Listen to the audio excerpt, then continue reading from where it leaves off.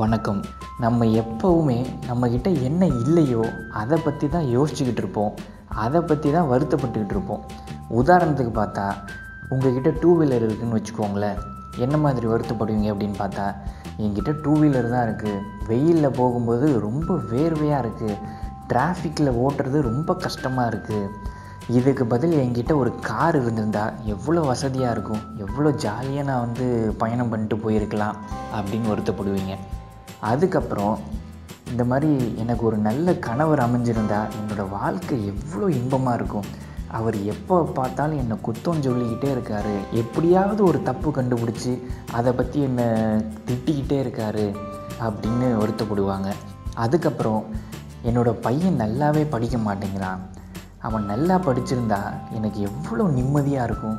அவன் ஏன் தான் இப்படி படிக்காமல் நேரத்தை வீணடிக்கிறானோ அவனால் எனக்கு நிம்மதியே போயிடுச்சு. அப்படின்னு வருத்தப்படுவாங்க. இந்த மாதிரி நம்மக்கிட்ட இல்லாததை நினச்சி நாம் எப்போவுமே யோசிச்சுக்கிட்டே இருப்போம். அதை பற்றி வருத்தப்பட்டுக்கிட்டே இருப்போம். இதனால் என்ன ஆகுது அப்படின்னு பார்த்தா தேவையில்லாமல் நம்ம சக்தி வந்து வீணாக போய்கிட்டு இருக்கு. நம்மளோட மனநலமும் பாதிக்கப்படுது. சரி என்ன தாங்க பண்ணுறது அப்படின்னு கேட்குறீங்களா இதோ சொல்கிறேன் முதல்ல உங்ககிட்ட என்னென்ன இருக்குது அப்படின்னு யோசிச்சு பாருங்களேன். ஒரு பேப்பர் பேனாக இருந்துச்சு அப்படின்னா ஒவ்வொன்றா எழுதுங்க.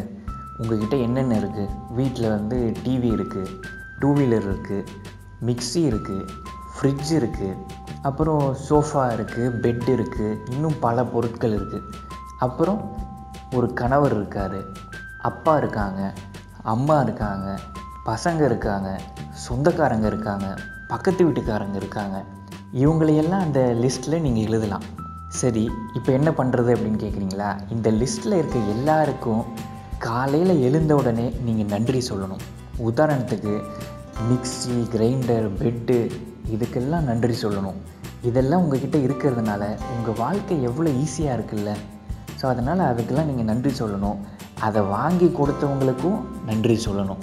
அதே மாதிரி கணவர் வந்து பிடிக்காமல் இருக்கலாம். அவர் திட்டுறது உங்களுக்கு பிடிக்காமல் இருக்கலாம். ஸோ பல கெட்ட குணங்கள் இருந்துட்டு போகட்டுமே. ஆனால் அவர்கிட்ட ஏதோ ஒரு நல்ல குணம் இருக்குல்ல. அதுக்காக அந்த கணவருக்கு நீங்கள் நன்றி சொல்லலாம். காலையில் எழுந்த உடனே கண்ணாடியை பார்த்து இதெல்லாம் பண்ணணும். ஒவ்வொருத்தருக்கும் நீங்கள் நன்றி சொல்லணும். ஸோ கணவருக்கு நன்றி சொல்லணும். அதே மாதிரி மகன் வந்து நல்லா படிக்கலன்னா என்ன? அவனுக்கு வந்து பல திறமைகள் இருக்கும். அவன் நல்லா ஓவியம் வரைவான் இல்லை நல்லா பாட்டு பாடுவான். இல்லை வந்து அவனுக்கு மற்றவங்களுக்கு உதவுகிற பழக்கம் இருக்கும். பெரியவங்களை மதிக்கிற பழக்கம் இருக்கும். ஸோ இந்த மாதிரி நல்ல விஷயங்கள் இருக்கிற உங்கள் மகனுக்கு நீங்கள் நன்றி சொல்லலாம். அந்த மகனை கொடுத்த கடவுளுக்கு நீங்கள் நன்றி சொல்லலாம். அதே மாதிரி உங்ககிட்ட கார் இல்லையே அப்படின்னு வருத்தப்படுறதுக்கு பதில் உங்ககிட்ட டூ வீலராவது இருக்கே அப்படின்னு ஆறுதல் அடைஞ்சு அந்த டூ வீலருக்கு நன்றி சொல்லலாம். அந்த டூ வீலரை வாங்கி கொடுத்தவங்களுக்கு நன்றி சொல்லலாம். எனவே ஒரு பட்டியல் தயார் பண்ணுங்கள் எது எதுக்கெல்லாம் நன்றி சொல்லணும் யார் யாருக்கெல்லாம் நன்றி சொல்லணும் அப்படின்னு பட்டியல் போடுங்க. தினமும் காலையில் எழுந்த உடனேயே நல்லபடியாக தூங்கி எழுந்த உடலுக்கு நீங்கள் நன்றி சொல்லுங்கள் அதுக்கப்புறம் உங்கள் பட்டியலில் இருக்கிற எல்லாருக்குமே நன்றி சொல்லுங்கள் இதை நீங்கள் டெய்லி பண்ணிக்கிட்டே இருங்களேன்.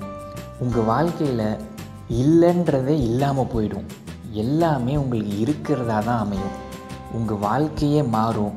நன்றி உணர்வு இருக்குல்ல அது உங்கள் வாழ்க்கையை கண்டிப்பாக மாற்றும் உங்களுக்கு வந்து பல சந்தோஷங்கள் உங்களை வந்து அடையும். கணவன் மனைவி வாழ்க்கையும் ரொம்ப மகிழ்ச்சியாக மாறும். எனவே நீங்கள் இதை முயற்சி பண்ணி பாருங்கள் கண்டிப்பாக உங்கள் வாழ்க்கையே மாறும். நீங்கள் எல்லார்கிட்டேயும் அன்பாக நடந்துப்பீங்க. நீங்கள் எல்லார்கிட்டேயும் அவங்கக்கிட்ட இருக்கிற நல்ல குணங்கள் பற்றி மட்டுமே பேசுவீங்க. அதை பற்றி மட்டுமே பாராட்டுவீங்க. கெட்ட குணங்களை கண்டுக்கவே மாட்டீங்க.